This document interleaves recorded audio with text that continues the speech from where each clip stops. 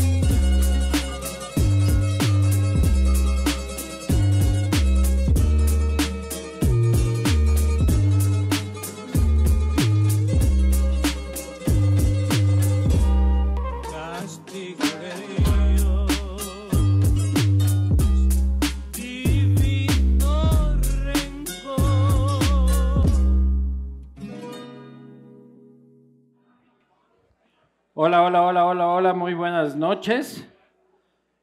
Qué bueno estar aquí de nuevo. Salud. Tomarán, tomarán.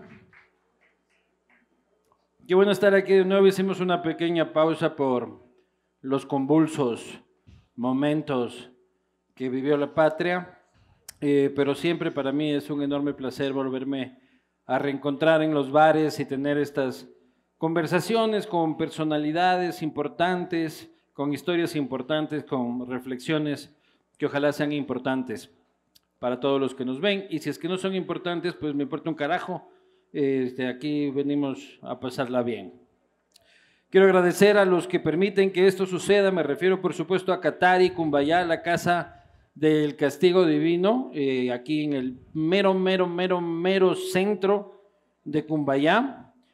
Aclaro, ¿qué estás esperando para contratar 250 megas por solo 19,4 incluido IVA al mes? Ahora con gratis HBO Max, Claro Video y con todo el contenido de Paramount Plus. Recuerda que con Claro tienes instalación rápida y sin costo. Adquiérelo en claro.com.es. Uribe Schwarzkopf con su proyecto Aurora, listo para la entrega en la Ruta Viva. Vino Cono Sur Pinot Noir. Cerveza Latitud Cero. Reventador IPA. Un emblema de la cervecería artesanal ecuatoriana. Cuscuy, que es el emprendimiento de mi mujer, hace varias cosas. Entren a, página, a su página de Instagram. Aquí están las redes para los que nos ven en internet. De eso vivo. Así que eh, sigan a Cuscuy, no sigan a mi esposa. Y por supuesto, rapidito de oriental, listo en tres minutos, sabor a carne de res con vegetales, envase ecoamigable lo cual le gusta a la audiencia de hoy, así que pueden echar rapidito con confianza. Para mí es un enorme placer, es una mujer eh, ecuatoriana, a pesar de sus múltiples nacionalidades, una activista, una académica, una periodista y una mujer involucrada en la política nacional desde hace ya algunos años. Me refiero, por supuesto, y por segunda vez en el castigo divino, después de un huevo de años, la señorita Manuela Pic.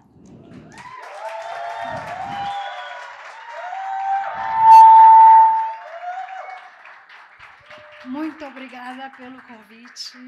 Que prazer estar aqui de novo com você. Prazercinho, prazercinho estar aqui. Saludo, mano. Saúde, bênção e muito axé. Saúde, saúde.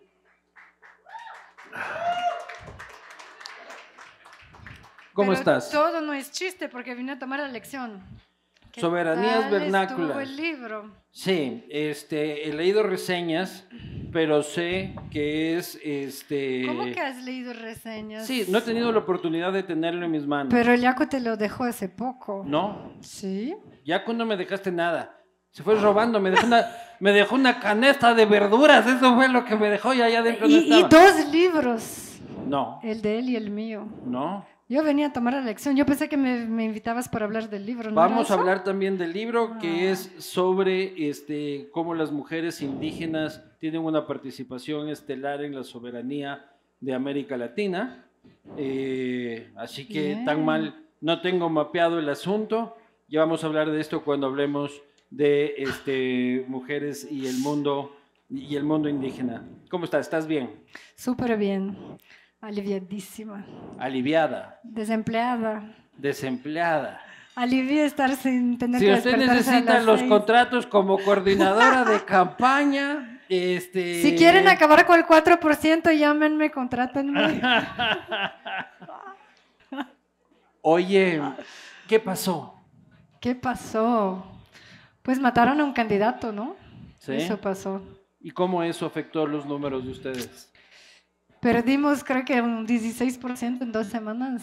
Eh, afecta porque creo que no solo afectó el Yaco como candidato, que, se, que como todos los ecuatorianos y estando al frente olía muerte esta campaña para nosotros que estuvimos adentro, pero además se generó una angustia nacional muy fuerte en la cual se querían respuestas monoduras rápidas, ¿no? Y, y las propuestas de seguridad integral, diríamos, ambientalistas, eh, sociales, Claro. ya no estaban tan de modas. Claro, si va- vamos a ortigar a los ladrones y a los asesinos. Ortigar sería bueno. Claro. Quieren balas, ¿no? Sí, pero el de el candidato de la bala tampoco le fue bien. Le, le fue bien después del debate comparado a donde estaba, pero se fueron con el nuevo que era viejo. Eso es la ironía, Sí. ¿no? Los dos que pasaron a segunda vuelta eran estrellas de la Asamblea Constituyente. De la Asamblea- Asamblea- de la de peor la- asamblea de la historia. Sí. Sí. Pero perdieron cuántos puntos? Unos 16. 16 puntos. Oye, pero se acabó el Yaku Power. Se acabó el... ¿Será? No sé, te pregunto a Se ti. fue a dormir, se fue a dormir. Sí. Se fue a dormir el Yaku Power. Pero ¿cómo, Preguntémosle. ¿cómo recibes tú como coordinadora de la campaña y como una de las más visibles en la campaña un resultado que sin duda es muy adverso? Porque durante toda la campaña todos íbamos hablando de que ustedes segundos, terceros, segundos, terceros, segundos, terceros y Cuaratún abajo de otro. Ujú.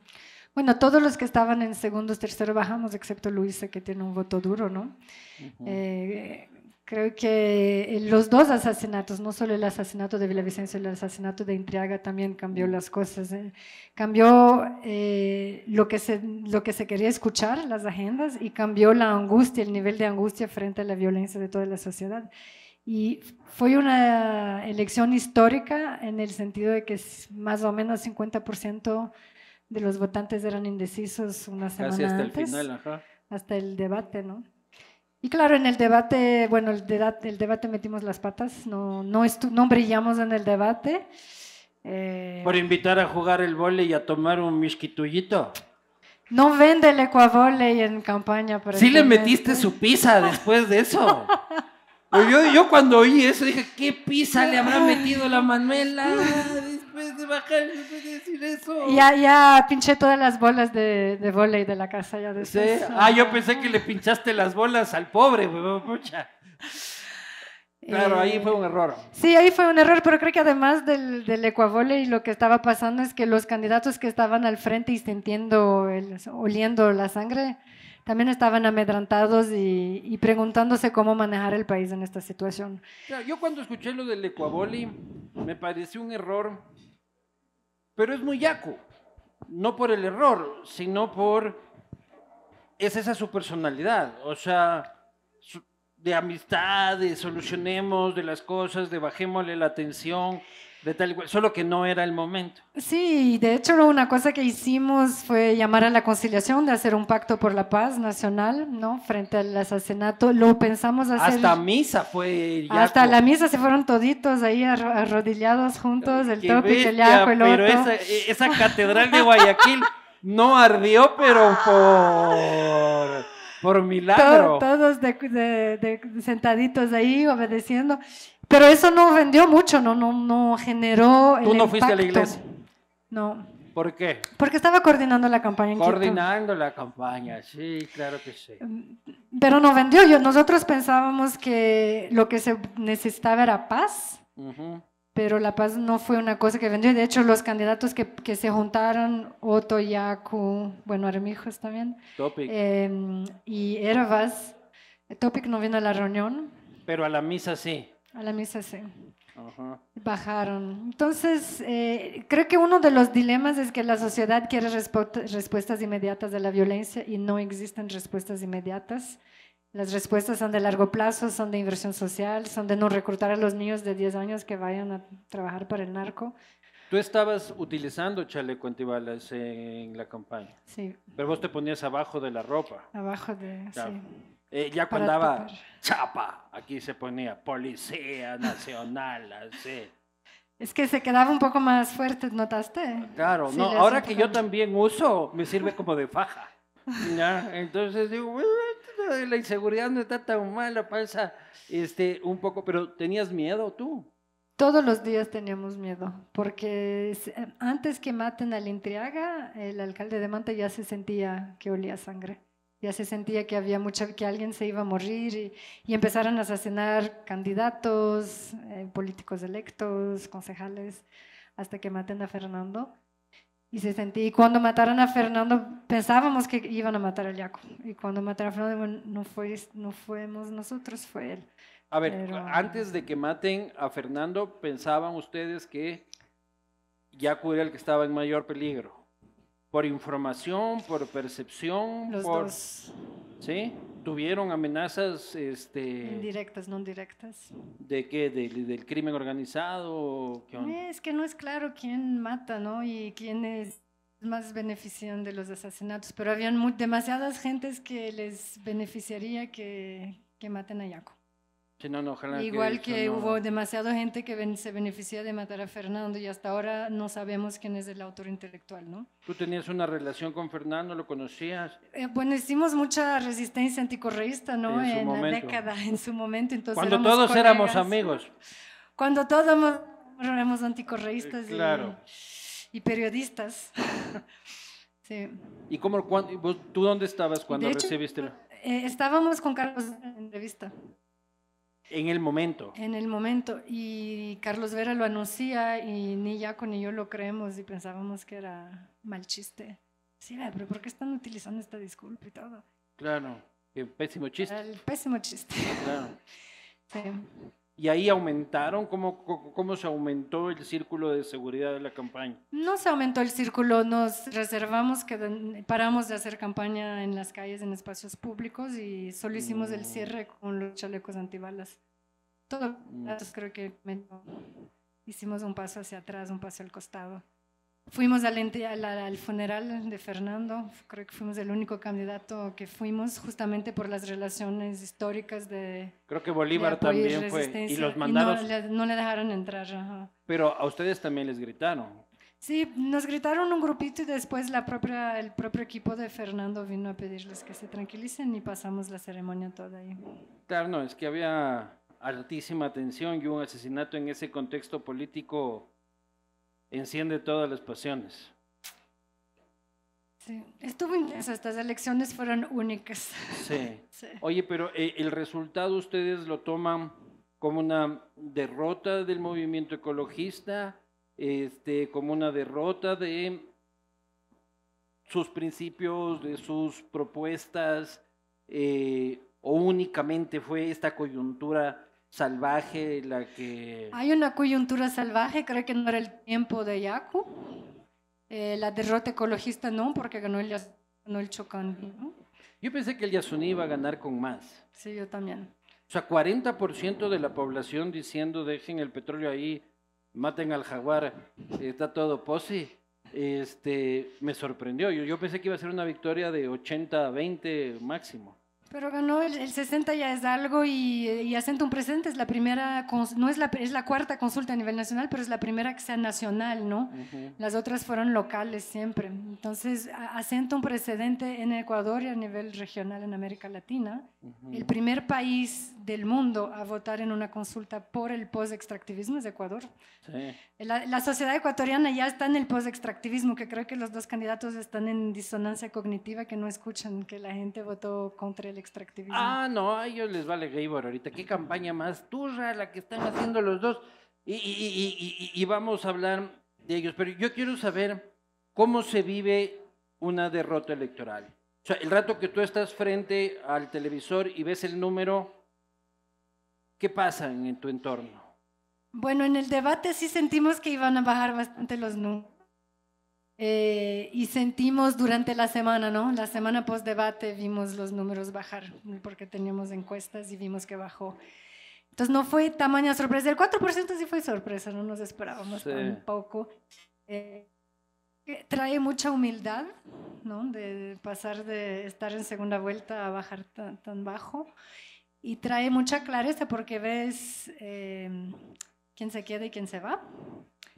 Ves que no hay un voto duro, ¿no? que la manera de comunicar con los ecuatorianos tiene que ser distinta. Hay muchos ambientalistas jóvenes que votaron por Novoa, Ujú. que ahora se van a comer co- qué hacer en segunda vuelta. Em, eh, reto conversar con la juventud, ¿no? Con esta juventud que pone presidentes eh, que no tienen la memoria política que tenemos nosotros, por ejemplo. Es que ya esto de hablar de Correa, yo también digo que ya pasó de moda. Sí, ya pasó de moda y no obstante, aquí estamos. Claro, O pero- sea, bus- buscan saludos ahí, solidaridad a los que están en el exilio. Y yo lo dije en su Pero- momento, este, la derrota no es caída. Yaku, a ti y, y a todo el equipo y a todos, este, me parecería terrible que tomes esta derrota como un retiro. Más bien, este, a reforzarse, me parece que la voz ambientalista es una voz que tiene que permanecer vigente. eh, y una derrota, una derrota no es caída. Y de ahí tienes dos opciones que te aparecen. Solo dos. Solo Siempre hay más que dos en la vida. El nulo, que ustedes le echan Ah. al nulo, ¿ya? Y el blanco. Eh, pero hay dos candidatos, hay cuatro candidatos, hay dos candidatos presidenciales y dos vicepresidenciales. Vamos uno por uno, mano. Lu- Luisa, por primera vez en la historia, ¿podría una mujer ser presidenta de la República? Tú eres una mujer feminista. Por voy a repetir, por primera vez en la historia nacional, una mujer podría llegar al poder. Una mujer anti-mujer, anti-feminista, anti-derechos, anti-aborto por violación. No nos sirve mucho a las mujeres. Es antimujer. Pero ¿qué quiere decir ser antimujer? ¿Cómo, cómo una mujer puede ser antimujer? porque es subserviente y obediente al orden patriarcal, reprime a otras mujeres y en particular niñas violadas. Pero una mujer, a mí lo que me cabrea, aparte de toda la huevada, es de que yo sí quisiera que nos gobierne una mujer, más bien creo que es urgente. Los hombres vamos 200 años cagándola, este, debe haber este, otra opción. Pero la única que llega a segunda vuelta, pues es secretaria de un, el machista más Y por machista eso llega a segunda vuelta, porque las autónomas no tienen el espacio, son reprimidas, son atacadas, son vilipendiadas. ¿Y qué tal que la man se libera? Gana y dice, Machi, valiste, este, voy a tener mi propio pensamiento. Pero lo hubiera hecho en la asamblea, no en vez de votar contra las niñas en Provida, contra las- el aborto por violación para la niñez. Pero ahí yo tengo una pregunta, y, y no sé si es que tú lo sabes, yo estoy a favor del aborto, no solo por violación, sino por la libre determinación del cuerpo de la mujer, este, y eso va a salvar muchas vidas de mujeres, especialmente de clases populares. Esa es mi postura. Pero yo tengo a mi tía Maruja, ¿ya? Tía Maruja. Este, es una mujer, es una señora, muy buena, yo le adoro a mi tía Maruja. Es hermana mayor de mi mamá. Y la señora no está a favor del aborto, ¿ya? Pero yo cuando le regreso a ver a mi tía Maruja no veo así el monstruo antiderechos de las mujeres que quiere acabar con... Solo tiene su postura, que también creo que tiene que ser respetada. Claro, y una pos- nadie es obligado a hacer el aborto, pero no podemos obligar a niñas violadas a tener los hijos frutos de violación. Los de Entonces ahí cuando si tú eres una la mujer en la política, es una cosa ser yo no lo quiero practicar y es otra cosa prohibir que las niñas no lo puedan Claro, practicar. pero en el aborto ya está legislado. Falta la ley, Eh, digo, aún eh, no eh, está. en, en la violación. Tienen que hacerlo por obligación legal, ¿ya? Es ley, es ley, o sea, aún no es ley, pero está por la Corte Constitucional, Tiene es un derecho humano internacional. Eh, prohibir el aborto es una tortura según las Naciones Unidas. Sí, pero el aborto en otras oportunidades, eh, o sea, en otras ocasiones. La mujer que dice no a eso, no me gusta, no creo que debería ser ley, es una mujer antimujer. Cuando tú prohíbes, eh, limitas la autodeterminación de otra mujer, estás siendo antimujer, porque la mujer no es ganado, no como los ganados. Si queremos tener más ganado, estábamos hablando con los ganaderos más antes, No. queremos que los ganados produzcan más leche y tengan más bebés y más ganados por, por hectárea. Las mujeres no somos ganado, ¿no? Y las mujeres pueden decidir si tener más o menos hijos o no tener los frutos de violación. Y una mujer que prohíbe eso, que reproduce el sistema patriarcal en el cual la mujer es un ente reproductivo del patriarca, de la propiedad patriarcal, Ujú. está siendo antiderechos y antimujer. Pero sí, pero tú lo dices desde una posición tuya. Yo trato aquí únicamente de darte el contrapunto. Desde una posición tuya en la que muy viajada, muy leída, muy todo, una señora de Canuto, Chone, ya como es Luisa González, o mi tía Marujita de Loja, de una cultura conservadora, este, crecieron así, ¿ya? Y no es culpa de ellas tener sus convicciones, ¿me explico? O sea, acá al frente hay una iglesia y, y seguramente algunos de los que van allá creerán que lo que yo hago aquí también es una aberración, estar chupando y toda la pendejada, pero no es culpa mía, ni tampoco es culpa de él. Y Es cada uno puede tener su Es la posición, construcción cultural que tuvo cada una de estas personas. Pero no te lances a ser presidente. Si vas a ser presidente, estás gobernando para hacer salud pública, educación pública, salud mental, salud reproductiva, acabar con la pobreza, no para tener tu opinión cultural personal de Chone. Ni tampoco de Francia, Pero no es que son de Francia, el, el aborto es un derecho universal y es... ni tampoco es de Chone ni, ni de todo lado. O sea, lo que quiero decir es, una cosa es tener la mente más abierta al mundo y la otra tener estos principios muy de casita. Le podemos poner de otra manera, un candidato presidencial, una candidata presidencial no debería irse en contra de los derechos humanos y hacer una propuesta política que sea en contra de los derechos humanos establecidos en la Corte Interamericana, en las Naciones Unidas y por la Corte Constitucional. Y una mujer de izquierda, ¿no? A supuesta izquierda. Claro. Ah. ¿El correísmo es izquierda? Se dicen de izquierda, pero privatizaron todos los puertos, incluso a la familia Novoel de Pozorja, ¿no? En 2016. Sí. Sí. De- De, ahí de- sale de la, cocaína, ajá, sí. Son, son dos lados de la misma moneda, la final. La cocaína sale del puerto de la tía. Del, claro, la familia Novo exporta la cocaína. ¡Oye! voilà. No, eso estuvo muy fuerte, no creo. Es un negocio redondo, ¿no? O sea, más coca sale del puerto de Guayaquil que el de Pozorja ah, en realidad. No creo que la familia no va a exportar coca. No, ellos no saben de nada, supuestamente. ¿Tú crees que no? ¿En serio? No. No. No, no, no saben de nada. Entonces, esa es tu opinión de Luisa. Del otro lado hay otra mujer en la vicepresidencia de la República, Esa sí es una pérola de las mujeres. la, señor, la, la señora Abad, ¿ya? Que cuando me, me dicen comparemos a Arauz con Abad, y yo digo, yo soy pro Arauz, ¿ya? Porque las risas son importantes, o sea, necesitamos un pendejo en las elecciones que por lo menos nos divierta. Un humorista sin un pendejo en las elecciones, ¿qué va a hacer? Claro, no, no, no.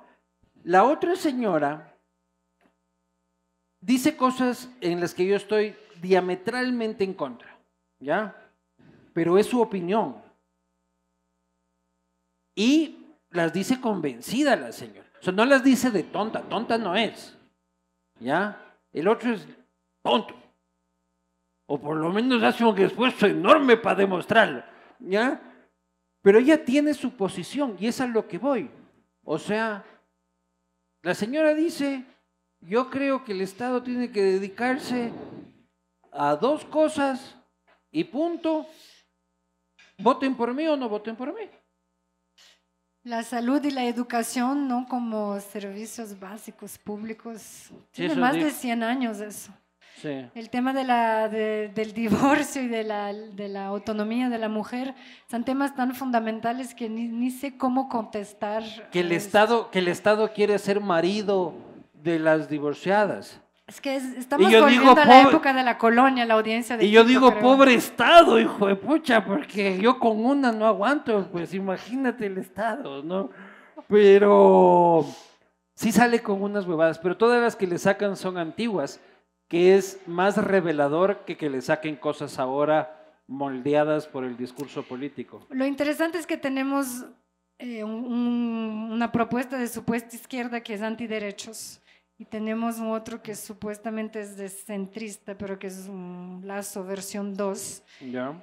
que no es la esposa de Lazo, es la vicepresidenta ¿no? del binomio, que es totalmente antiderechos también. Entonces tenemos dos proyectos, los ambos súper detrimentales hacia las mujeres, con reducción de derechos ¿no? de las mujeres en el horizonte, reducciones de autonomía corporal, sexual y, y patrimonial. Ujú. Entonces, para las mujeres aquí presentes no hay mucho horizonte, que gane quien gane, perdemos, Da igual. perdemos. Pero, ¿con cuál te comerías más mierda, Manuela? Mm. O sea, como que así, puta, o sea, lo- los dos te van a comer mierda, ¿ya? Pero, Pero, hay, hay uno de los dos que tú y yo vamos a tener que ir a, en la puerta del Boscán y decir que nos preste el cuarto de visitas, Claro. ¿no? y ese hijo de puta nadie abrirlas. Porque a ese no le gusta que estén fumando huevadas, ni que estén chupando demasiado. Este, entonces, ¿tú crees que en libertades peor nos iría con el correísmo? Bueno, diríamos que el correísmo tiene experiencia autoritaria mucho más que el jovencito. Ujú. Entonces, tal vez bloqueamos el autoritarismo con experiencia e intentamos activarnos ya que vamos a estar aquí, ya que el Bosca no nos va a recibir y nos quedamos aquí haciendo la resistencia. Claro, o sea, pero tú dices, ¿prefieres el correísmo porque ya sabes cómo pelear contra ese? No, no, el, el correísmo que se quede Fuera. fuera. ¿Prefieres al jovencito, que no vas a votar por él, ni tampoco quiero que se entienda de esa forma, pero con este por lo menos lo coges en frío Sí, y ya este- sabes tú. Este le logramos boxear un poco mejor, creo. Pues, entonces, vote por Novoa si le quiere boxear rápidamente este, al candidato. En él, ¿tú Bueno. no reconoces ningún valor? O sea, Ninguno. antiderecho, antimujer, antiderechos laborales, ¿Él por qué es antimujer? minería. Bueno, él tiene historia de violencia contra la ex esposa, ¿no? Que no ha estado demostrada. Sí, sí, sí, sí. No, no, hay una denuncia y... Sí, hay una Pero no hay denuncia. una sentencia. No, no, pero hay una denuncia. O sea, Yo te puedo denunciar a ti y le puedo denunciar a Nando y le puedo denunciar. Sí, no, no, también es cierto eso. es cierto en teoría. ya. Sí. Hay, hay historia, hay historial de violencia, hay historial y bueno, y hay declaraciones actuales. No era pro Yasuní en el debate, pero ahora es pro minería, se cambió rapidísimo. Eh, la, viceca- la vicepresidenta, ni, ni hablemos de eso. No, no, ya Eh. Los derechos laborales. eh, ¿Pero qué? el tema de la cocaína sí me preocupa porque mm, quien tiene eh, la concesión de los puertos y son de los puertos que sale la cocaína en Ecuador y Ecuador es el principal exportador de cocaína latinoamericana hacia Europa y Estados Unidos. Pero es como... No es una cosa que pasa en las espaldas de uno tampoco. No, sí, o sea, es como que tú le culpes al dueño de una flota de camiones porque hay un camión con droga. Es que no es un camión, son todos. Eh, son muchos son camiones. Y no sé si es que ese puerto es el más exportador de Pues cocaína. Jorge es un centro de exportación de cocaína. O sea, seguramente pasa por todo lado. Y, y, y Amber es el primer receptor. Y, y no creo que, o no sé, En- que los señores de Belga este, sean narcotraficantes per se. ¿Sabías que hay cumbres de, de narco? Los carteles hacen sus cumbres. Y hubo una cumbre de Sinaloa en el 2003 y decidieron utilizar el Ecuador como centro de acopio. Y desde ahí se viene fomentando. Y ahora el Ecuador es donde sale el 70% de la, Claro. de la cocaína latinoamericana. De Es los un hub, puertos. Es un hub. Entonces, ¿quién, tiene, quién maneja puertos no es eh, víctima, es al menos cómplice por cerrar los ojos, si no es cómplice activo del problema del narco que está destruyendo el país. Entonces, elegir a un presidente que está metido en los negocios de los puertos y de la cocaína indirectamente es problemático porque es lo que estamos intentando parar. Sí. O sea, yo, yo estoy de acuerdo contigo de que el Ecuador se volvió un hub de la droga, ¿ya? Un centro logístico y por eso hay mafias de todo el mundo acá. Pero el puerto está manejado por unos de Dubái, creo, estos, ¿ya? Creo que está concesionado a una gente de Dubái en sociedad con la tía de Daniel. Y a la tía no la veo tan narca, verás. O sea, yo le veo así a Isabelita. Y así pinta de fito no tiene, por lo menos, verás. O sea, no le veo en la huevadilla. Yo no le veo en la huevadilla. Pero que de- tienen responsabilidad, tienen. O sea, podrían mejorar y todo el asunto. Pero ¿cómo solucionamos esta cosa, man? O sea, tú decías hace un rato de que el tema de la seguridad, la gente buscaba soluciones inmediatas en la campaña y que es imposible dárselas. ¿Ya? Pero yo no puedo esperar un discurso de que sí, lo que pasa es de que los niños del 2040 van a ser mejores. Es que ¿por qué vienen aquí? Porque me matan hoy. ¿Por qué vienen aquí? Primero Tomar- vin- empezaron a venir por la dolarización, ¿no? Por lavado de dinero súper práctico. Las leyes de la Constitución del 2008 permiten, eh, por ejemplo, dejar a los jóvenes, los menores de edad libres. Eh, hay un sistema de corrupción Y institucionalizado. eso está mal. Claro. ¿Qué deberíamos hacer con menores de que, edad? re- hay, que re- hay que poder prenderlos porque estamos dando ¿Prenderlos? papaya- eh, sí, estamos dando papaya al narco. Ah, aprenderlos. O prender- Detenerles, detenerles. Uy, o prenderles es lanzarle ahí balde de gasolina y paras. O sea, Que yo estoy de acuerdo con eso, con, yo estoy de acuerdo con eso, pero con otros mayores de edad. Hay, hay, hay que hacer cambios jurídicos, pero también hay que hacer cambios de inversión, porque estos niños en la, is- en la isla Trinitaria están como reclutando los niños a 10, 12 años. Las mamás ya no ponen los niños en la escuela, en casas muy pobres, de cañas, sin agua potable, sin internet, sin nada, para que no sean reclutados. Estos niños no tienen educación. ¿ya? Es cuestión de meses antes que sean reclutados ¿Y qué fuera de la escuela. ¿Y qué hacemos con un niño de 15 años que ya mató a alguien? Hay que rehabilitarlos, no hay otra. Pero hay que detenerlo. Hay que detenerlos, hay que rehabilitarlos y eso es plata de inversión social. Hay que dar educación, salud, hay que generar trabajo, hay que poner música y, deporte y ecuavoley en los barrios para que no caigan, que tengan eh, afiliaciones y disciplinas con otros sectores. El problema es en parte la pobreza, pero también es la ola de migración generada por este gobierno que es histórica en Ecuador La ola de migración nuestra hacia nuestra afuera. hacia, hacia afuera, que está dejando muchos niños sin familia, que se quedan con las abuelas y todo, ¿no? Y ellos no tienen familia. Y muchos van a buscar familia con el narco, ¿no? Con las bandas delincuenciales, porque, porque para, para tener un sentido de pertenencia que no tienen en la casa. Entonces es una acumulación de factores y no lo vamos a solucionar ni con cárceles ni solo con criminalización, aunque también se necesita un poco de eso. Eso es cierto, ¿no? Porque el niño busca protección. Y si, mira, yo, Y yo vi- yo vi un video hoy en Cuenca, lo habrán visto ustedes también, donde hay un tipo que le quiere obligar a una niña preciosa a pedir dinero y alguien se lo impide. Y él le va jalando a esta pequeña niña, no sé si sea su padre o quien sea, la niña va haciendo mala seña, él le escupe al que le está grabando, ¿viste el video? La niñita, una cosa hermosa, este, también escupe y tal y cual, y él empieza a jalonear y empieza a maltratar a la niña para que vamos. Y la niña muy pegada a este señor evidentemente maltratador, que la va jalando y ella solita se va tratando de coger de la mano del... A mí me rompió el corazón. Será por, porque soy padre y porque más o menos debe tener la edad de mi hijo, pero evidentemente estos niños en soledad necesitan buscar una protección y no tienen la edad suficiente para identificar si es que esta protección es 10 positiva o negativa. o sea, pero por eso los deportes son importantes, la música es importante y hay que crear estructuras que les puedan contener y dar horizontes que sean otros y eso es es inversión social. Pero también hay que repartir, Cerveza, pero también hay que repartir. Oye, está más morenita que la anterior. Bueno, salud, ya me están dando la misma que la tuya.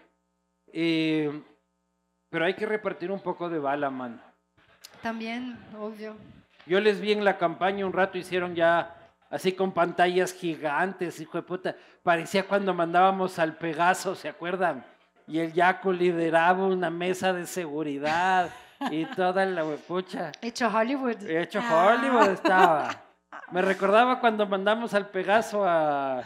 Pobre Pegaso. Hicimos muchas reuniones de seguridad, mesas temáticas de seguridad con muchos expertos. Hacíamos casi una, una a la semana y las últimas las hicimos abiertas.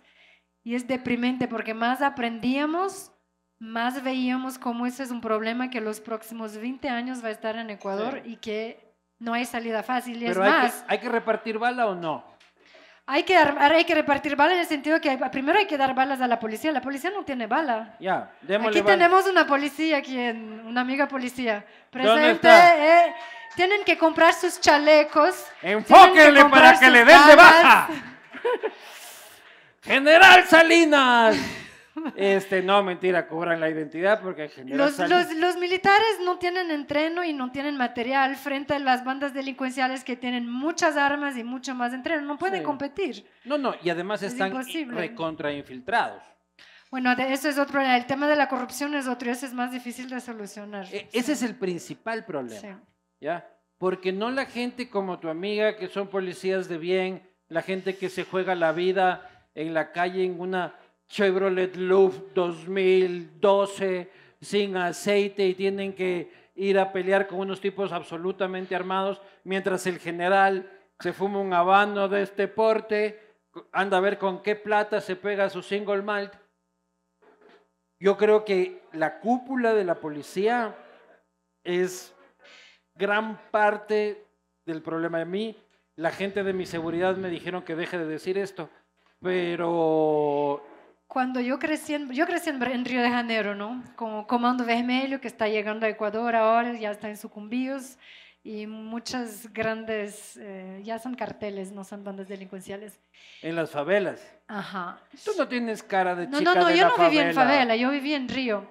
No, Pero no, no, en mi edificio vivía el secretario de Seguridad de Río de Janeiro, Luis Eduardo co- Dice, yo vengo de ahí, de donde estaban estas más. No, en Río de Janeiro Vivías en en el penthouse de donde estaba el ministro. Entonces le suben, le vienen a matar, porque él cuando llega dice voy a limpiar la cúpula de la policía de Río de Janeiro. Y le vienen a matar. Con la incompetencia habitual van al piso equivocado y matan a la persona equivocada.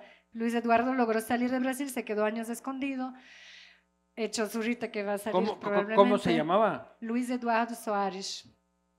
Y le llamé cuando empezaron este año, antes de la muerte cruzada, le llamé y le dije, ¿qué hacemos con todo lo que está pasando en las cárceles en Ecuador? Y él me dijo, es que no hay, no hay nada que hacer. Brasil está intentando hace décadas hacer algo y no hay- la única cosa que nos funcionó a nivel local fueron cursos de jiu-jitsu y de artes marciales en el sur de Brasil, que, pero eso es un trabajo de comunidad y de dos, tres años para que los niños tengan otras afiliaciones y otros sentidos de pertenencia. O sea, Pero aquí tenemos no, que... es no hay que- solución. Tienen más plata, más armas. No hay solución. Sinaloa tiene 100 bases en 100 países del mundo. ¿Cómo quieres competir? No hay solución. Es que yo también creo que no hay solución. Yo creo que la única solución es legalicen toda la huevada. Y también te vienen a matar si quieres legalizar porque les Porque el acabas con el negocio negocio. Ya, ya, pero ya legalizaste. Sí. ¿Ya? Entonces ya legalicé. Bueno, Petro está intentando legalizar, pero solito no va a lograrlo. Claro, Mm. pero la cosa es la legalización y de todo, Totalmente. ¿ya? Porque si te quieres hacer mierda, andaste mierda con lo que quieras. De ahí será el Estado, tu Pero paga, familia. pues, paga impuesto. Claro, pero paga impuesto, pues. Y con el IVA que tú pagas por el gramo de coca, yo pago rehabilitación, educación, deporte, jiu-jitsu, capoeira, todo lo que quieras.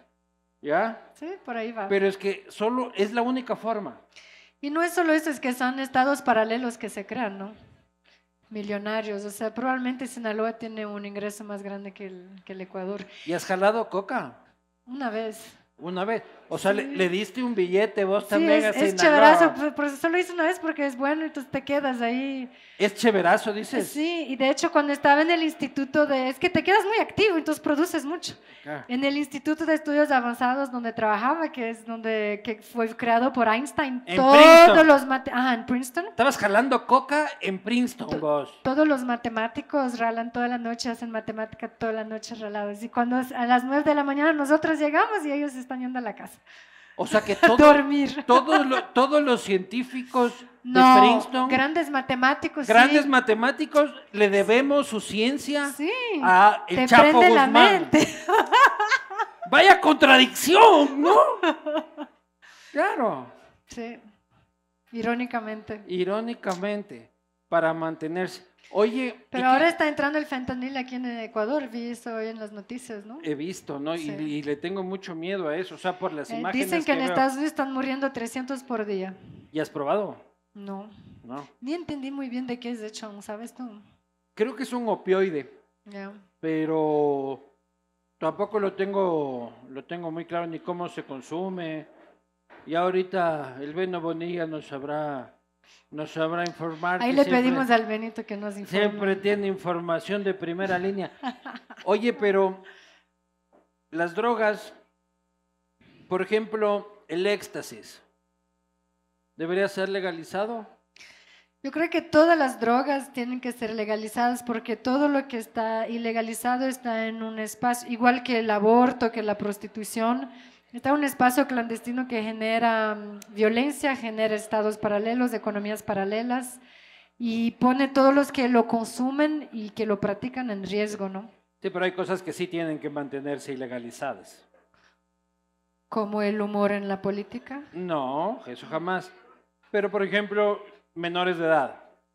Ah, ese tipo de cosas. O sea, grupos vulnerables. es que ahí que- entramos en el tema del consentimiento, ¿no? Ujú. Sí, pero ahí hay que ser un poco más, por ejemplo, el tema de este, la sexualidad, ¿ya? Yo a los 16 andaba on fire, ¿ya? On fire. Y con ¿Quién no? Claro, ¿ya? Pero no puedes, no sé, tal vez soy un cavernícola, pero una persona de 30 años tiene otras cosas en la cabeza. No, el- todo tiene que ser legalizado mientras haya consentimiento. Pero el consentimiento depende también de la madurez, Manuela. Sí, y hay gente A de los 40 que no es madura y hay gente Sí. de 17 que lo es. A los 15 años, a los 14 años no tienes una madurez como para decir, consiento algo. Yo a los 14 años era un puto salvaje. Es, es importante tener el, consentimiento y la autonomía siempre presentes y hay que tomarlo caso por caso. El tema del consentimiento de las niñas violadas, ¿no? Tienen 13 años, fueron violadas, están embarazadas y a la final son menores de edad, no están en edad de consentimiento y no obstante, porque sobre su cuerpo ellas tienen que tener el poder de decisión y de Entonces, autonomía. en- entonces la edad sí pone un límite legal al consentimiento. sí, Por más de que la niña de 14 diga, yo sí quería, es una violación. Sí, técnicamente es una violación y ella no tiene el consentimiento para acceder a una relación sexual con un hombre de 30, no obstante sí tiene la autonomía para decidir hacer, tener un aborto. Ah, eso sí, ahí estoy de acuerdo contigo. Sí. Y ahí yo soy más hippie que cualquiera. Pero si ves lo como te digo, que como que la legalización, Sí. como que la legalización tiene su límite. Yo lo que digo es, por ejemplo, hay dos novios de 17 años Es que y legalizar el uno cumple 18 y son noviecitos. Y más se puede ir preso. Yo creo que no, yo creo que desde los 16 años ya hay un principio de consentimiento mutuo, principalmente cuando es más o menos la misma edad. ¿Ah, sí? Ujú. Ah, eso no sabía. El tema es consentimiento y liber- liberación de drogas es una cosa, eh, liberación de la violencia es otra y no podemos caer en Ah, no, comparar no, la violencia con las drogas. y- Pero todo esto venía a... ¿Cómo te ha ido con el éxtasis? El éxtasis todavía le tengo que dar. Todavía no le das. No. Bueno, oye, ¿a qué hace? este, a- a- hace falta. ¿Y, y en las naturales? Sí. Todas. Sí. Bueno, todas no, estoy, estamos, ¿no? Ya como vamos a hacer una, una ayahuasca juntos ahí, Todavía no sacar prueba- los diablos de adentro. Todavía no pruebas ayahuasca. No. Pero si hasta yo, mano.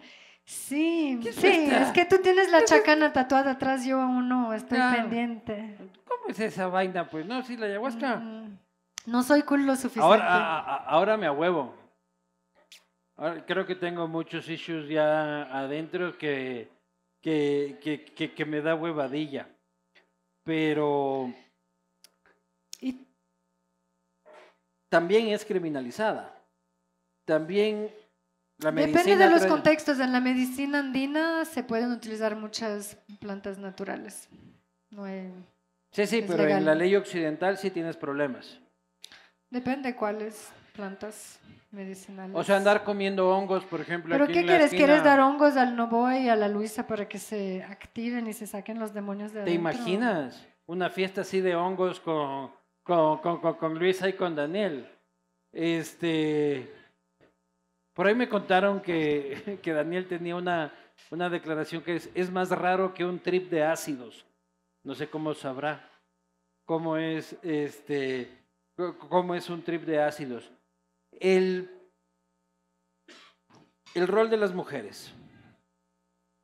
Tienes tu libro las mujeres indígenas como clave para el desarrollo de este, la soberanía de América Latina.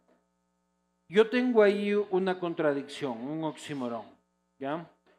Que es, mano, las comunidades indígenas a las que quiero, adoro y todo, así como las comunidades mestizas y a las comunidades cualquiera, también hay una enorme dosis de machismo.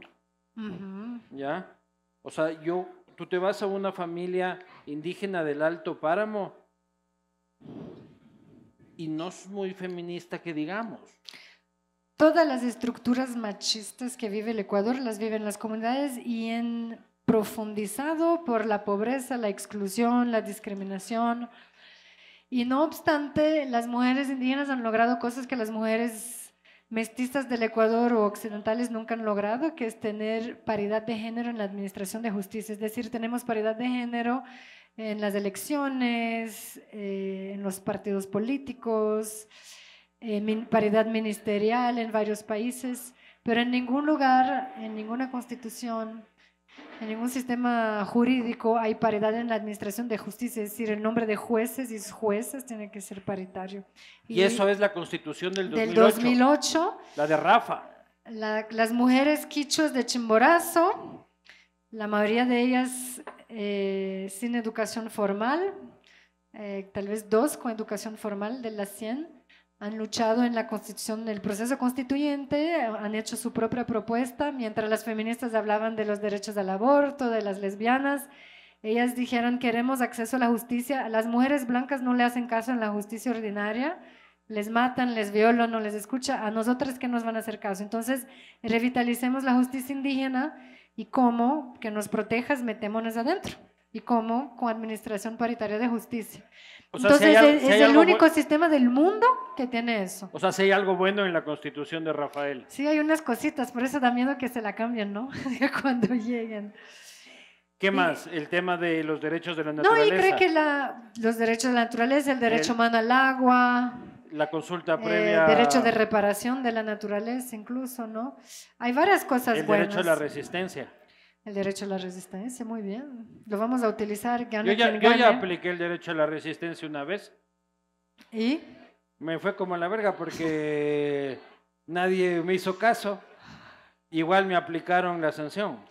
Y ves, las mujeres indígenas utilizan bastante el derecho a la resistencia. Y lo interesante es que si tú miras los movimientos indígenas, históricamente, tú eras guaguito, pero sí estabas en el 90, que eran muros de mujeres, era puro mujer frente a las policías y a los militares, ¿sí en o el no? 92. En el 90, 91, 92, Claro, 95. no, no, con esa conalle maravillosa de Nina Pacari, este, que es Nina esa, Pacari, Blanca Chancoso. esa conalle de Lucho Macas y de todos esos, que yo digo, esa conalle, para sacarse el sombrero. O sea, vos te sentabas a hablar con, yo no tenía la edad ni nada, ¿no? Pero la lectura y, para sacarse el sombrero. Pero ¿por qué eran tan Pucha, ahorita te sientes con Leonidas Sisa. Y es como que... ¿qué Ya lo has invitado aquí. No, ya que me va a aceptar. Este, pero se ha perdido un poco de condumio, pues, la dirigencia. Las mujeres indígenas han liderado los, mo- los movimientos indígenas durante siglos. Y lo que pasa en el 90, y es el capítulo 2 cuando lo leas, ¿no? La herencia de la resistencia, es que cuando Ya, se institucionaliza el movimiento indígena con la CONAI y el Pachacútec, se va masculinizando el movimiento indígena. Ahí te dejo con esferito para que... Pero lo vas a leer porque es el segundo, verás. Que no me diste ya. ¿Qué hiciste con el otro libro, carajo? Este se coge los libros y no lo lees. Voy a Si preguntar es, en que la casa. quiere, si es que quieren comprar el libro de Manuela, ella la vende. ¿Dónde vendes? Rayuela, La Española, en la librería de la Flax. Pero si quieren comprar a mitad de precio, yo tengo dos. ¿Ya? Mentira, no, jamás voy a estarte pirateando, Manuela. ¿Cómo vas a creer? Oye, pero te juro que no me dio. Te juro que Bueno, no para me que dio. invites mujeres indígenas a hablar aquí, ¿no? Hay ah, mucho no, que sí, conversar. no, no, no, sí, sí, sí, no. Oye, pero el tema del feminismo, Es urgente. Vamos a estar el 28 este, te vas a juntar a nosotros, ¿no es cierto? ¿a dónde? En las calles del Ecuador. Pero si no me pegan. No, estás invitadísimo. Cualquiera- Todos están cualquier invitados al manifestación 28 social que yo este. llego, me putean. Si voy a una manifestación por lazo, me putean. A una del correo me putean. A una del femil me putean. Ya vamos juntos, ya yo te llevo, vamos juntos. Tú me 28 proteges. Yo te protejo, te vamos a dar los ¿cómo se llama? El pañuelo verde para Ya. que te pongas. No, no, pero yo con y grafiti que en seas mano. parte de la marea verde. Yo con grafiti en mano y mostrando tetas Eh. porque sí tengo para mostrar. Es- Yo sí tengo. Ahí todo lo que yo no tengo, tú tienes y hacemos equipo. ¿te Ahí hacemos Ya, equipo, hecho. tú tranquila. Hasta esa Ya. fecha le aumento con, con peperón y con... y con- Pero el, tema, el tema de género en Ecuador es súper importante, ¿no? La violencia política que que hay contra la mujer, que pasó la semana pasada, en mi contra, que pasa todo el tiempo contra todas las mujeres candidatas o de, de- de fuerte poder político, es una constante que hay que atacar eh, Pero y también, pero visibilizar. también, Manuela, muchas se escudan en eso para tapar sus huevadas. O sea, tú le veías una María Paula Romo diciendo, me atacan por ser mujer. A una, ¿cómo se llama esa vicepresidenta media chora que tuvimos?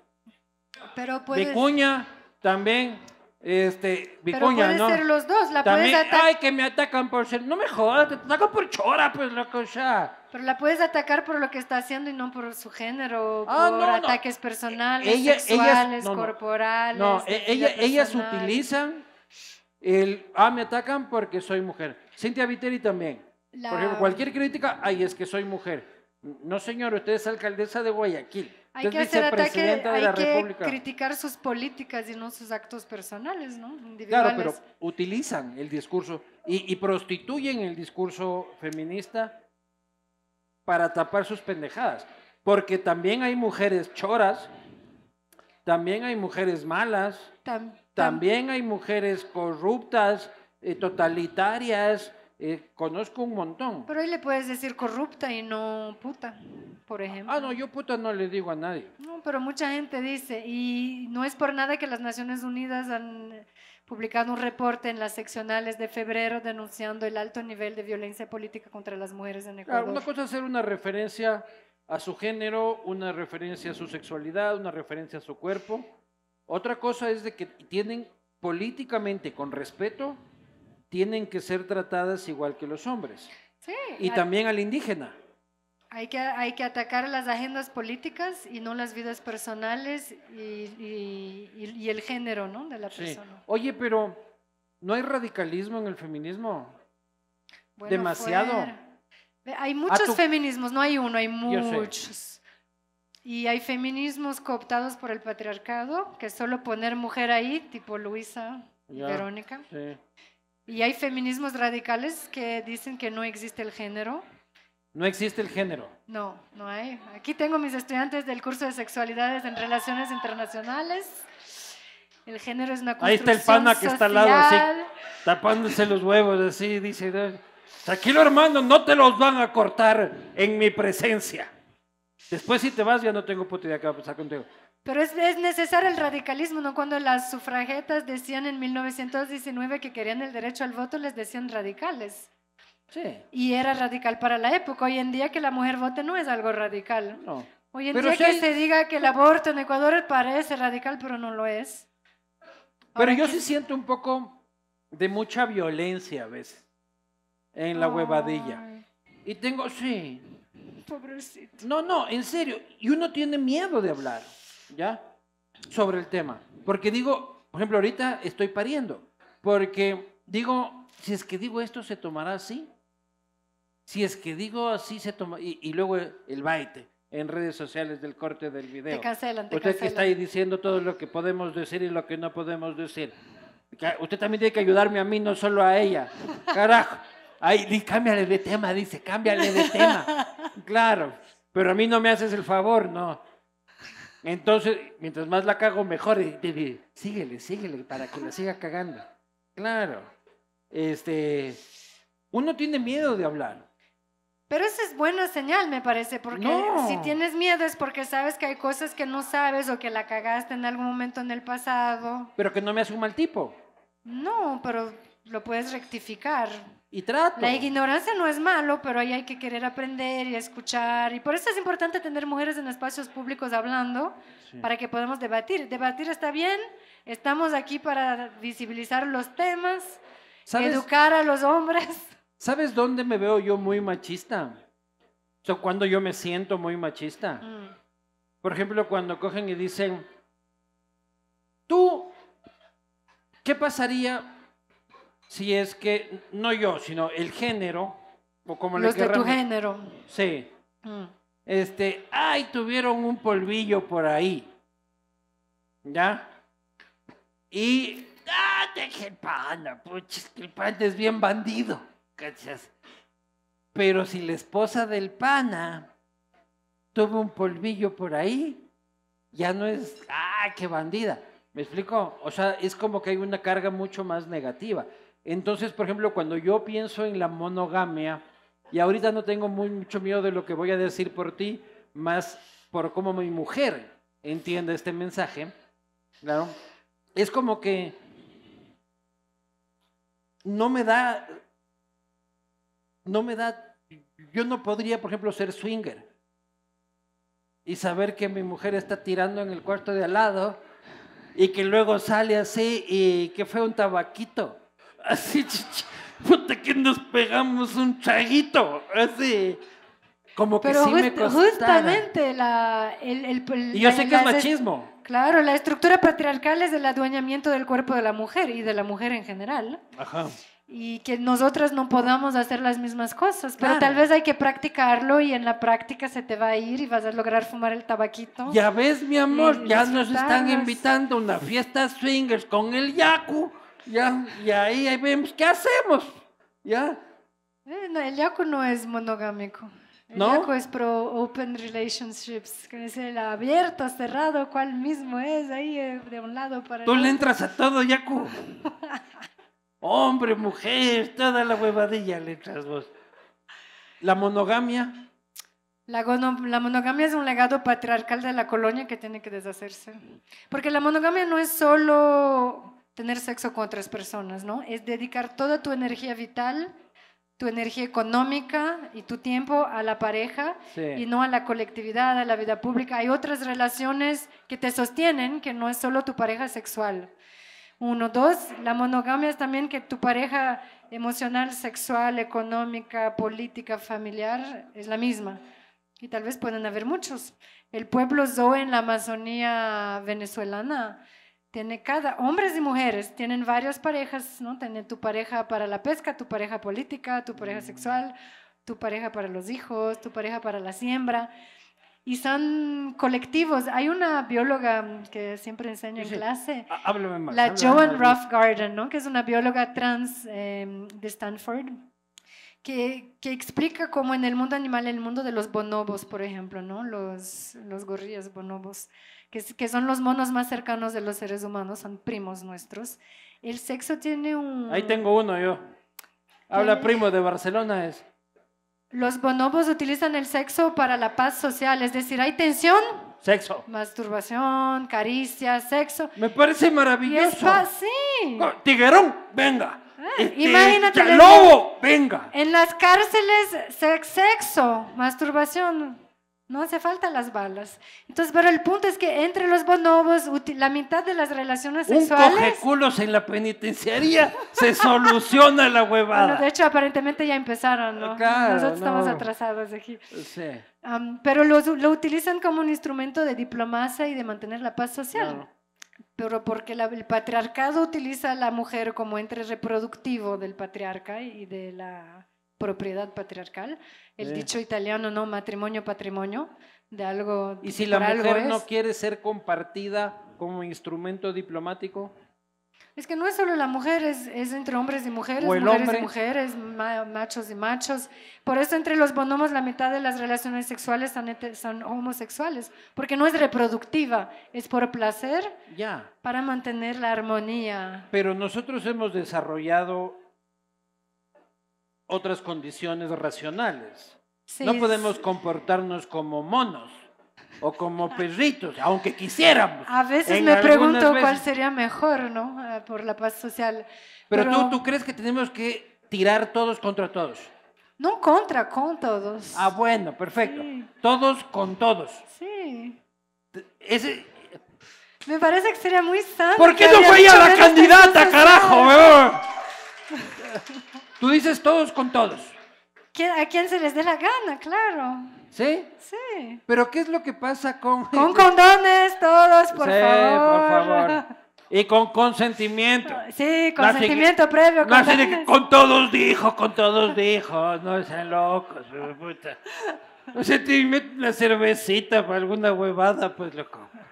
Oye. Pero, ¿Cuál pero? es que ya te vi roja, también ya me puse rojo porque hay un tema en el que tú tienes una pareja, ¿ya? Pero empiezas a generar, tú lo ves muy así académicamente, ¿no? O sea, vamos a tirar todos para Ah. desestresarnos. Ah, mira la hipocresía ecuatoriana. Nosotros aquí no hacemos eso. Eso es teoría No, no. europea. No, no, aquí también. Todos hacen eso, solo lo Sí. hacen a escondidas. ¿Cómo es? No contarás a nadie. Claro, yo La no. clásica ecuatoriana. Yo no. Este, pero una cosa es tiramos todos, ¿ya? Aquí si nos organizamos, tiramos todos, ¿ya? No, sin organizarse, Ah, fluyendo. ah, vos dices así, sin organizarse. Trencito loco en el Qatari, ¿no? Ya van a ver cómo termina el backstage de esta huevada. Vayan sacándose la ropa. Pero lo que pasa es cuando genera, tú sí generas amor. Tú también. por una persona. Sí. Mano, generas amor por una persona. Si una persona te provoca amor y quieres levantarte el domingo changadito y, y hacer un desayunito y ponerte a ver una peliculita, ¿no es cierto? Tú generas una relación con esa persona, ¿ya? Si nos ponemos a culear todos, ¿no te da miedo? Es que tú estás ya en otra nota, pero a, a la gente común sí da miedo como que ya no sea un polvito, ¿cachás? Sino que también quiere ir a hacer cucharita el domingo viendo Netflix. O sea, Mucha por, por- cuchara. por- por lo menos déjenme la cuchareada, pues a mí. Pero a veces como el aborto, los, los unos les va a dar ganas, los otros no les va a dar gana. También hay los asexuales que no quieren hacer cucharita con nadie y está bien. Cada uno hace Esa lo que le gente da no la quiere gana. tener sexo. No, Oye, tú sacabas un video diciendo de que las mujeres más infelices son las mujeres heterosexuales en cuanto al las aborto. más de- ah, en cuanto al Cuanto al orgasmo, orgasmo. la brecha del orgasmo. sí. Las mujeres heterosexuales tienen un 60 y pico. 65% de orgasmos, los hombres heterosexuales un 99%. Claro, Las ese- mujeres ese- bisexuales. Ese un 1%, 75.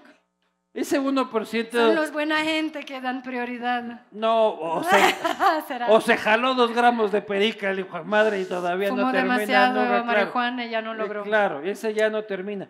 Pero en cambio las mujeres, Las mujeres bisexuales y los hombres eh, bisexuales o homosexuales Ajá. son los que más tienen orgasmos regulares, ¿no? 70, 80%. Bueno, los hombres heterosexuales. Y el problema es que el sexo es visto como reproductivo y sea, el- como el hombre una gay- actividad penil, ¿no? sí, entonces tú estás Eh, diciendo que el hombre heterosexual goza más que el hombre homosexual. Sí. Porque en relaciones homosexuales es- hay más un cuidado mutuo del... Ya. Del no orgasmo. taco, taco, taco, choperro Sí, y ¿Estás velar. bien? ¿Gozaste? Claro, sí. No es así, "Ah, Claro, no, qué ya te feo". quiero, claro, sí. Ah, sí, qué bueno estuvo. Y la otra, así como que, que fue, ya empezamos. Así. Y de ahí las mujeres también se cuidan entre ellas. Y pintantón. La peor situación es ser mujer heterosexual para... Claro, porque la- en la relación heterosexual el sexo históricamente ha sido los últimos siglos, cuatro siglos, ha sido construido como un acto reproductivo de penetración eh, que no es destinada al no. placer y si es placer no es el No. placer femenino, es Aquí el placer nadie se masculino. anda tirando por reproducirse ya en este mundo, Manuela. Mm, O sea, yo no le veo a nadie en una discoteca, oye, nena, reproduzcámonos. No, pero se quedó el chip de que el sexo Más bien es- lo veo al otro día como hijo de puta. Y no me baja, ya me cagué, chucha. Es, es verdad, no Es puro obstante, placer. el- no, es puro placer masculino, porque la relación sexual actual sigue siendo enfocada en el pene y no en el clítoris. ¿Quién aquí sabe cuántas terminaciones nerviosas hay en un clítoris? A ver, alce la mano el sabio este, hijo de puta. A ver, Yaku, ¿cuántas terminaciones tiene? No tiene puta idea, se caga de risa. No sabemos, es pregunta de Ya examen, le pues. repetí muchas veces. ¿Quién dijo 180? Más de 11 mil. Y el pene tiene menos de 4 mil. El punto es que el clítoris tiene tres veces más terminaciones nerviosas que el Ah, pene. claro, pues. Y es decir, un orgasmo feminismo es, es tres veces más potente. Y ustedes, para colmo, pueden tener varios. O sea, ustedes son bendecidas por el Señor, por la Pachamama o por cualquier huevada. Porque uno es como que. Por eso hay que celebrar el aguántate un ratito, bobo, tabaquito. Puta, hay que salir al balcón. De ahí volver. Chuchuchaguito, muchita y vamos de nuevo. Hay que entrenar la lengua y los dedos, nada más. Oye, pero tú eres, con razón está tan flaco este hombre, hijo de puta. Tú eres una máquina sexual, mañana. No, soy una educadora sexual. Ah, bueno, Y ojalá tu esposa me Yacu, agradezca siéntate ahí. también. Así se hace. Hace. 255 terminaciones. Más de 11 mil. Más de 11 mil. Sí. Oye, pero ser un mal amante en lo sexual es ser un machista. No, Ah, Hay, hay- pero se queda corto para muchas mujeres, ¿no? Ah, Hay palo vago. Hay palo vago. Hay palo vago. Oye, salió una, eh, una estadística la semana pasada de que el ecuatoriano tenía el pene más grande del mundo. Yo no sé cómo hacen esas estadísticas. Debe ser un ecuatoriano que hizo esta estadística. Claro. O es como la estadística tuya de 65% de mujeres heterosexuales sí tienen orgasmos. Es como que asoma el encuestador del Es- INEC así debajo de la cama, así. ¿Sí? Bueno, son autodeclaraciones y obviamente hay una margen de error porque se asume que los hombres dicen que siempre tienen orgasmo. eh, Y que hay mujeres que dicen que tienen cuando no tienen. Cuando no tienen. Entonces, obviamente hay un- ¿Cómo de- identificar un falso orgasmo, Manuel? Una mujer aburrida? Ayúdanos Pero ahí a, le podemos llevar ayuda- a, a ayúdanos a relaciones esta lesbianas comunidad. para que se divierta un poco ¿Cómo, más. cómo, cómo? Pero si está aburrida con falsos orgasmos, le podemos llevar hacia las lesbianas para que tenga buenos ¿Ves esa orgasmos. huevada? A ver, pero ¿cómo Ah, identificas como hombre que es un falso orgasmo? A eso lo deberías saber tú, no yo. Si aún no lo sabes, es porque soy un toro campeón, este, o porque de soy ser un de cojudo, los o porque- ecuatorianos con el más gran pene del mundo, debe Claro, ser. yo, ajá. yo hice la encuesta. es de mi casa encuestadora. Ajá, ajá. Claro, no, no, nosotros nos creemos huevadas. Los mejores presidentes, los más grandes penes. Sí. sí. No, los mejores presidentes nunca hemos tenido. Pero a mí me pasaron una puta encuesta en la que teníamos un pene grandote. Y, y no es mi caso. Yo soy chico promedio. Este, no sé cuánto es el promedio, pero no soy una cosa así que digan que lo. Pues, eh. Pero tampoco que digan esa huevada. Uno siempre cumple o cumplía, mi amor. Uno O cumplía. piensa cumplir, Claro. o intenta cumplir, estamos ya. A ver, preguntas. A ver, no, lo importante, lo importante es competir. O sea, lo importante es competir. Vamos a las preguntas. Salud.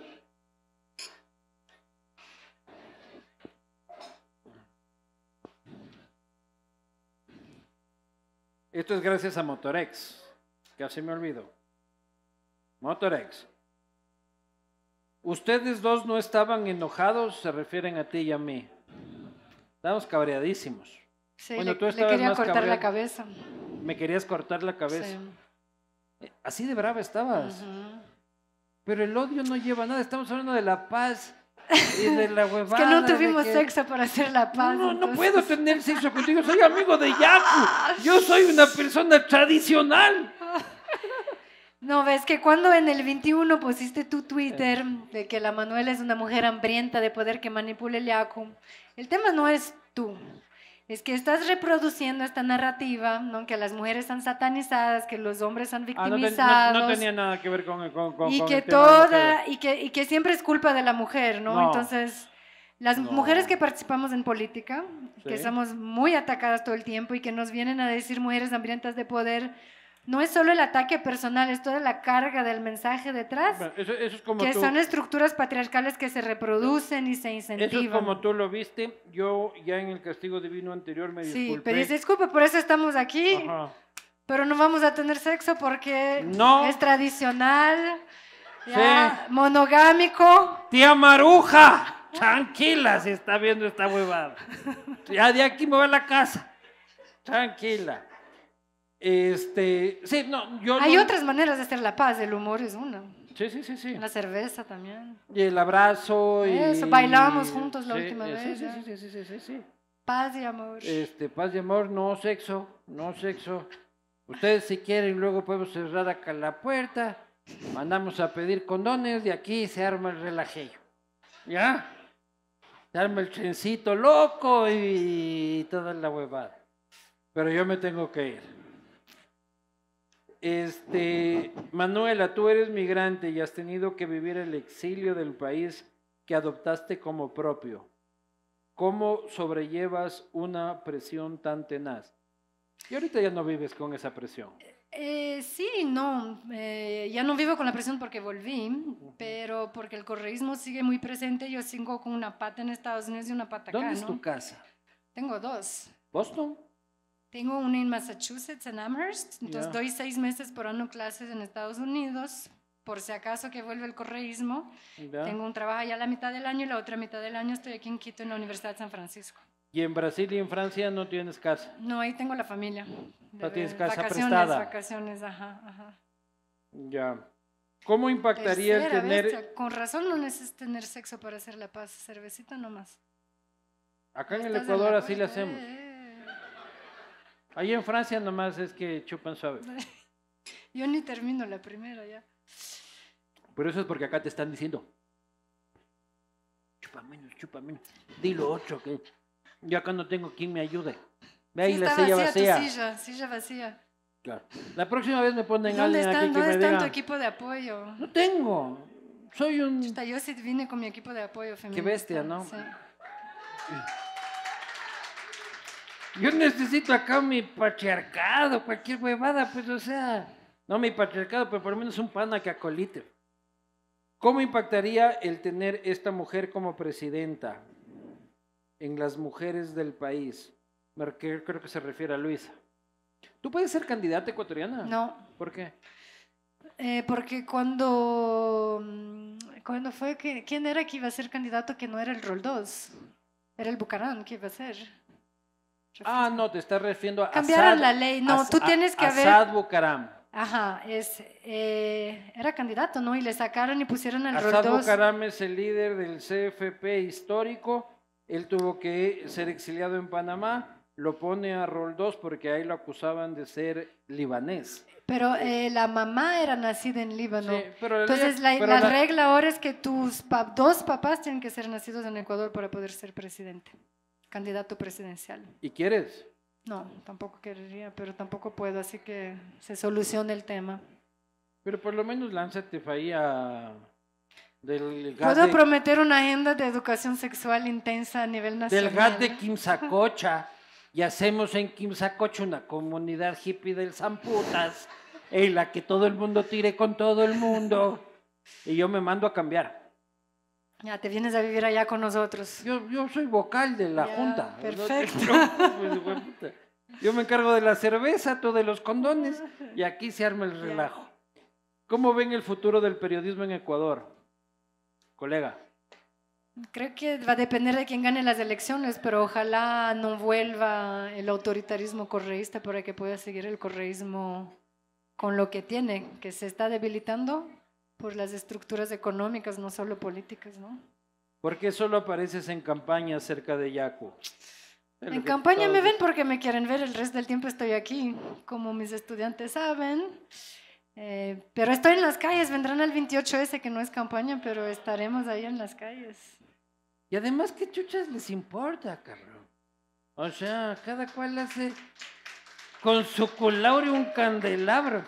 Y están, pero no solo asoma en campaña cuando está con el Jack. Ellos verán cómo manejan su poliamor. ¿Eres poligámica? Por eso pregunto. Mm, Sí, No es poligámica, la palabra es poliamorosa. Politeísta, poliamorosa, Eres politeísta también. plurinacional, polinacional, Pluriétnica. también. Todo lo poli me parece saludable. Pero ¿cuántos amores tienes? Tengo muchos amores.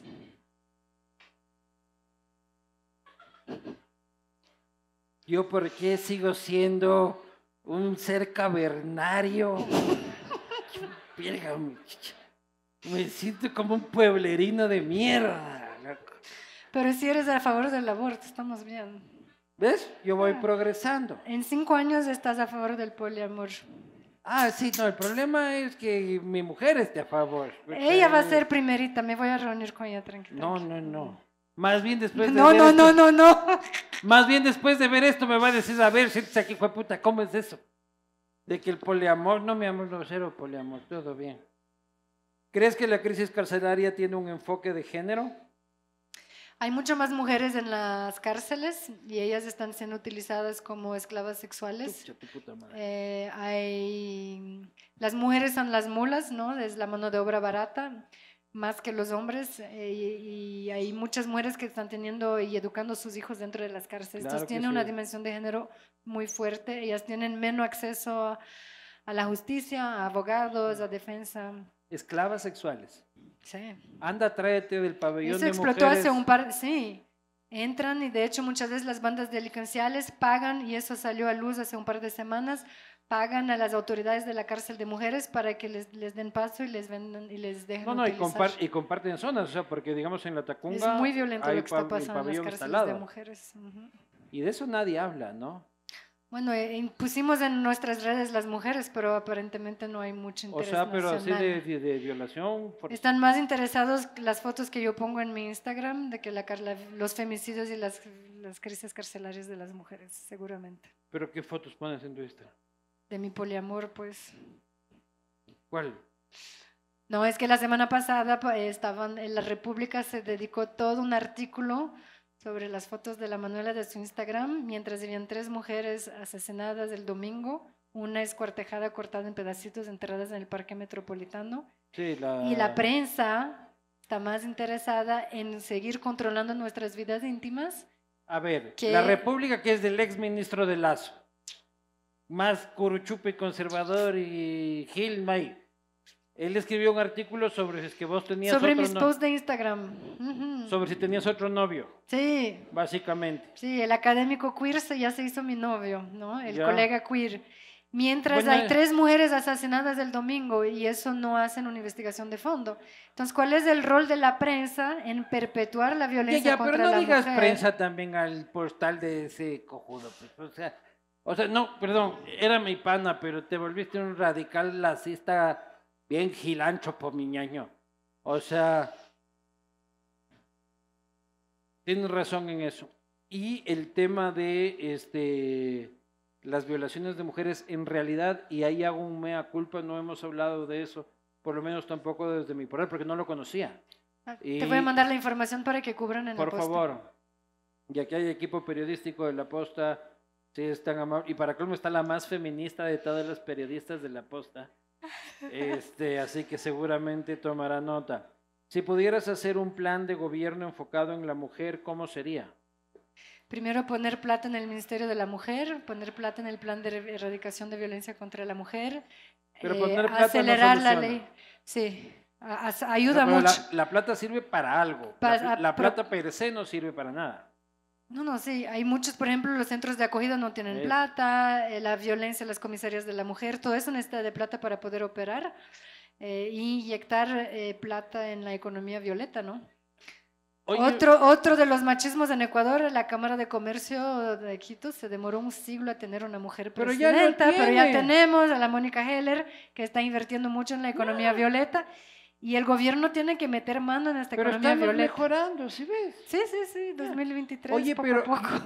Lo vamos a lograr.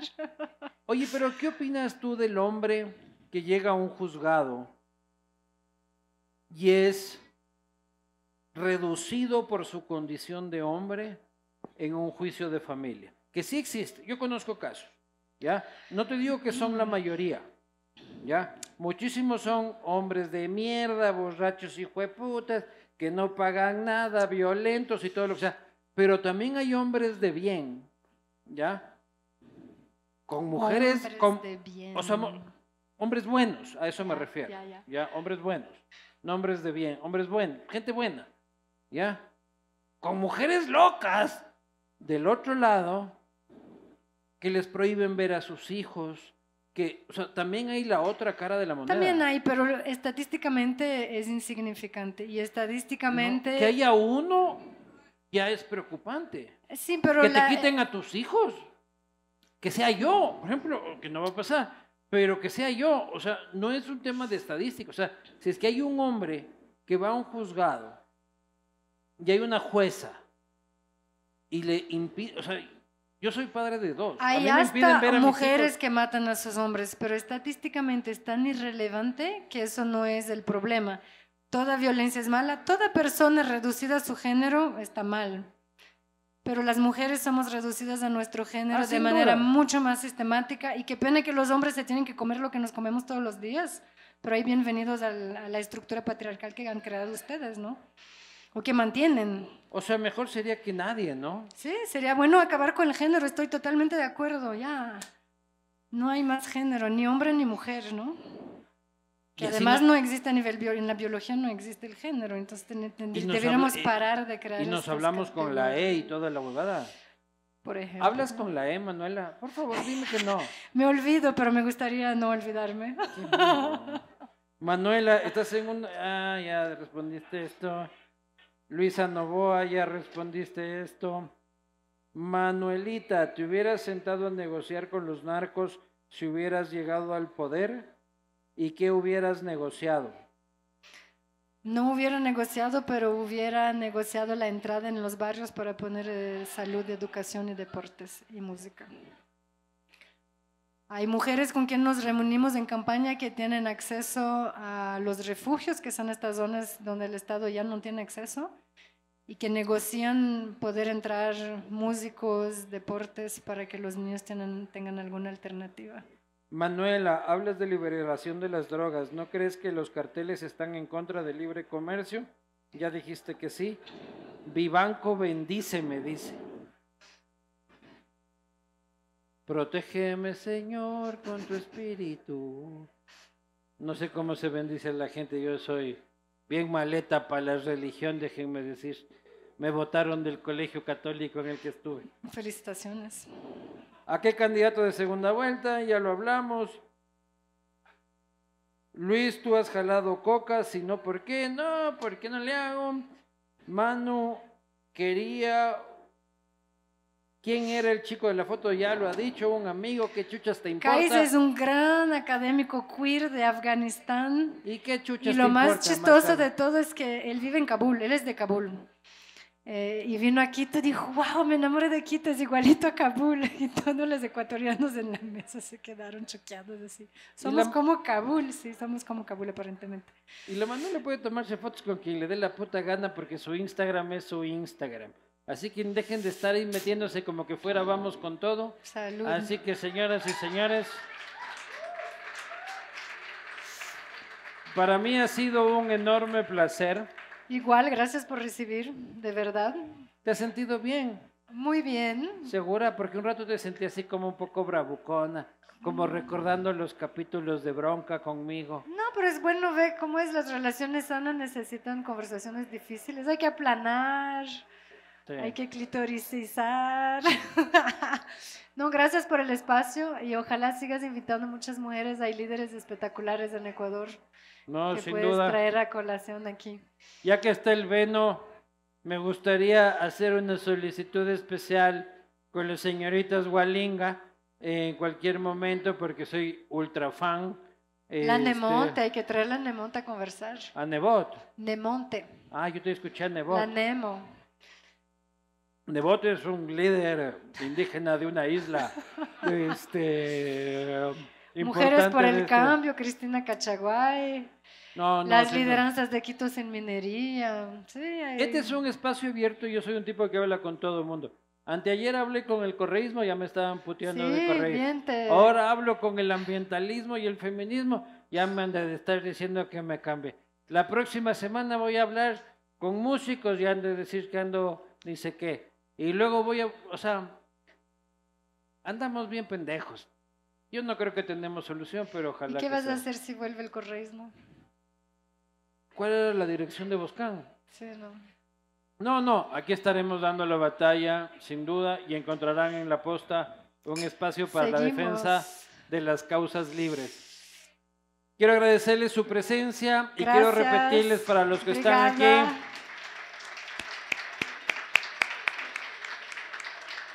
que la causa, que la causa ambientalista de buena fe eh, no cese, que encuentre este, sus banderas, los procesos políticos van y vienen y, y pa'lante caballeros, pa'lante mano, pa'lante Yacu, Seguiremos. salud con todos. La alcaldía se encuentra implementando planes estratégicos en seguridad, salud y riesgos para prevenir los efectos del fenómeno del niño. Nuestras brigadas especializadas están en varios sectores de la ciudad, conformando comités comunitarios y brindando capacitación a líderes barriales para actuar ante emergencias. Para más información, sigue y consulta nuestras redes oficiales. Arroba municipio GYE. Guayaquil unido ante el niño. Alcaldía Ciudadana de Guayaquil. Guayaquil vuelve a los guayaquileños. Guayaquil,